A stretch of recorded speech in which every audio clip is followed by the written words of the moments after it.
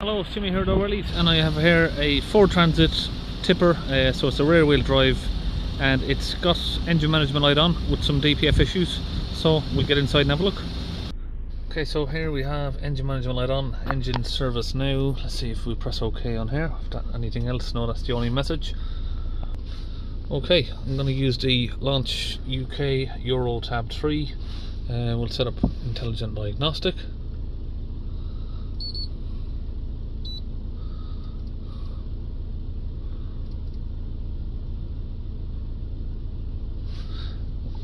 Press that. Now we'll run a high speed scan. And let's see what we're looking at.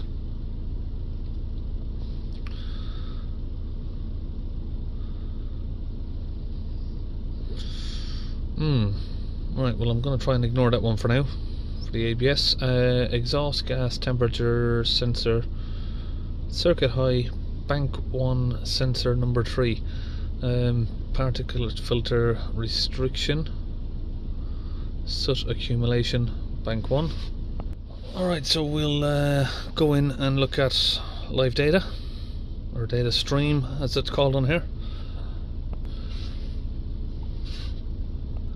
just wipe up the screen of the camera there and we'll uh, look for exhaust gas temperature. So 13 would be bank 1 number 3 there. We don't even have the other ones on here listed so look at the pressure of the DPF as well. And we press OK. Okay so we have got a block DPF at close to 30 millibars there temperature of the exhaust 100 degrees. Mm, it's literally just pulled up so I was expecting it to be higher than that. Let's give it a rev. Oh wow. That's a bit erratic there isn't it? Hmm let's give it a rev again. Now what I can notice here is this vehicle is extremely restricted on power. Look at the revs how slow they are. That's full rev So, not only have we got a block DPF now, uh, this is going to be the cause for the DPF blocking because obviously this sensor looks like it's acting a bit erratic. Um, so, we'll look at testing the plug and changing the sensor if need be. So I think it's going to be very likely that we're going to do that. Okay, so I'm looking under here and from what the customer said, someone's changed this sensor before not this one. Uh, so it looks like the wrong sensor has been changed. Um, it's been messed around a bit so I think thought he'd come over and see me. We're gonna maybe put these cables up a little bit better as well. And we're gonna unplug this sensor up here. Uh, the black plug right here to get that disconnected. Now I just get my multimeter put the pins up there check that we're getting voltage here we are. Okay, so I've got a replacement sensor here. We're going to get this plugged in and confirm that the readings are now looking okay once we've got it fitted. Um, part number for this is there. Obviously, just check your own vehicle. Okay, now here's where the sensor comes off. So you got number one, two, and then three. Now you can see there, it's already started to to slip a bit so it's a bit seized on. We're going to try and get some heat on it and then we'll try try again.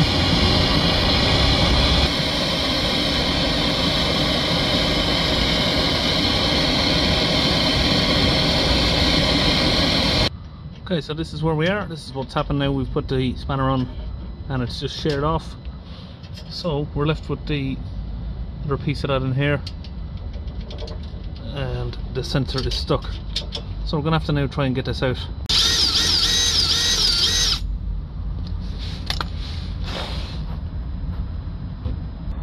Okay so that's the old one drilled out and the new one put in. Okay back in the van. Start it up. Okay now we just wake this back up. Let's have a look at this sensor now.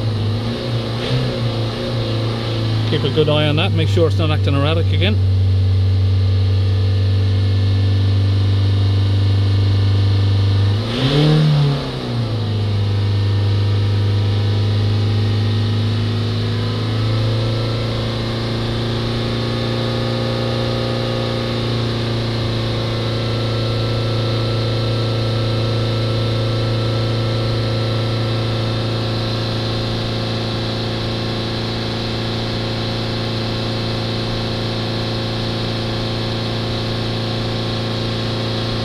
Okay, so we've got the vehicle idling. We've managed to get it up to 125 degrees there for about a minute of holding the revs.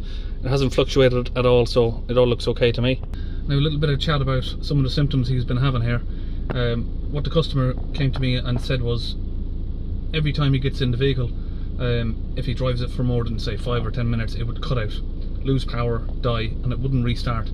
If he leaves the van for more than an hour, then come back, it would restart drive it for maybe four or five miles again and the same thing would happen. Uh, it, it, had been to a couple of mechanics and they replaced one of those exhaust gas temperature sensors and I think apparently they said one of them done a DPF clean which obviously didn't work well even if it did without fixing the issue the DPF would quickly block again. Um, so obviously the other guys have now gave up and said they don't know so he's he's called me and come out um, so I can have a look over the vehicle when he said it was cutting out after a short time, to be honest, I was thinking it was fuel related, but I, I, I, did have in the back of my head it could be the uh, thermal cutout, or I, I, say thermal cutout, but for English, thermal cutout uh, is what they call it. Um, so if the temp temperature sensor reads that it goes above a thousand degrees, it will automatically just cut the engine slowly. It wouldn't do it so abruptly, but you'd lose power and then you'd suddenly come to a stop. Um, and that's just to save the van from catching fire basically because it thinks it's it's getting too hot. And I think that's what the issue was with this sensor it was just something something wrong inside it where it was shooting up to a thousand degrees and cutting off. There was a code there he told me before for exhaust temp temperature too high. Um, but that was cleared by the other garage. Um, so I'll put that code in the description as well so people know what they're looking for. And it also had a code for circuit issues with the sensor as well Okay, so now that we're here, so what we need to do now is, if we just reset everything, he's going to make it half a mile up the road, and it will, it will go back into limp mode because this DPF needs to be either forced regen or cleaned, flush out the DPF. Now you know I don't like to do forced regens. There's a lot of risk involved and a lot of unnecessary wear on your engine, and then you'll also have to change your engine oil, so you're not saving any money by doing it. So we'll just do a flush on it, and uh, we'll hopefully get the pressure down where it needs to be. I don't know if the DPF is okay at the moment because we need to clean it and then see the results afterwards. Okay, so now I've injected the cleaning fluid in here. What I've done is just remove the holes here from the DPF. Now that that's in, we can reconnect it. So this is the kit how we use Launch UK DPF gun. It's connected up to a compressor. And this here is the actual fluid.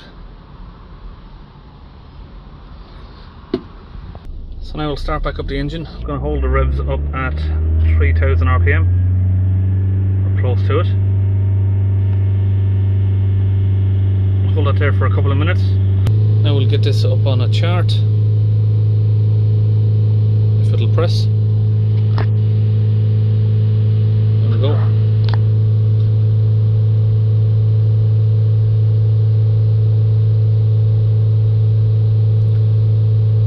To get that pressure down as much as we can.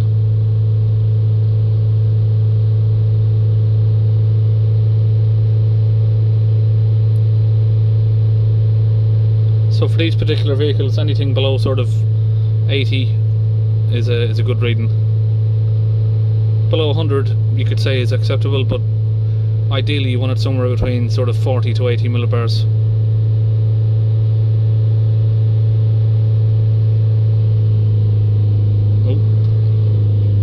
Revs slightly slipped up a bit there. It's hard to keep track of these. Sometimes they do just wander off. Here we are now just reaching about 80.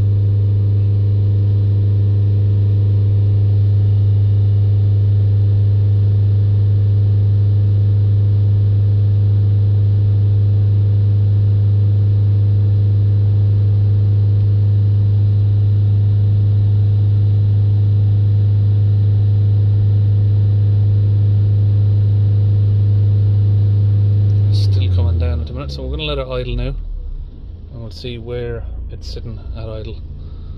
So the max you want to see these sitting at is about 10 millibars, which is where we are now. But we'll hold the revs for another couple of minutes. So while this is happening, you're going to see some white vapor coming from the exhaust there. Okay, now to reset uh, a lot of stuff, let's go back here first and I'll show you something as well. So now we've reset the pressure. We've also got soot calculations in the ECU, which do get locked in once the car goes above a certain amount. So you can see there we're at 150. Um, let's start it back up.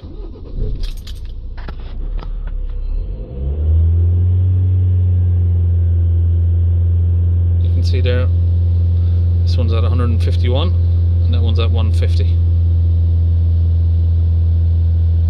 Okay, so with the engine off, I'm going to come back from there, go to special functions, powertrain control module, reset the diesel particle filter values.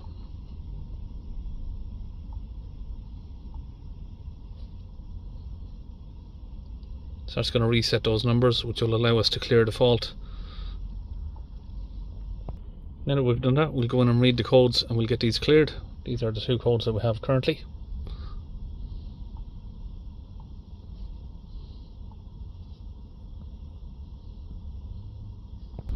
Okay, now we can see that we once we've done those resets, these are back to zero, and the pressure of the DPF has come down now to seven.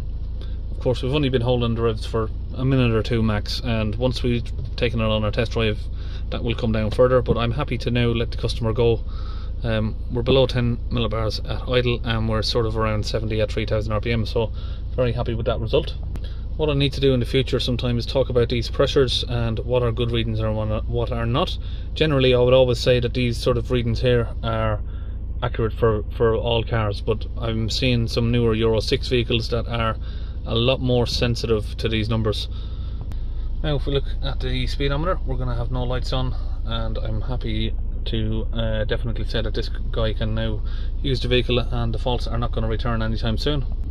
So it has now stopped raining, so sorry about the messy hair, but that's what happens. Uh, I think we're all just about finished on this, so hopefully I spoke through the numbers and everything else um, just about right the way you can understand what I'm talking about. Um, we don't see this sort of fault too often with the temperature sensors failing like that, but it has done on this one and I'm sure it'll help someone out. So that's what's left of the old one. What we've had to do is cut it off and then drill the last bit out the other little bit is around here somewhere. I can't seem to find it at the minute, but it's there somewhere. Anyway, that's this uh, Ford Transit all finished, and I'll see you on our next video.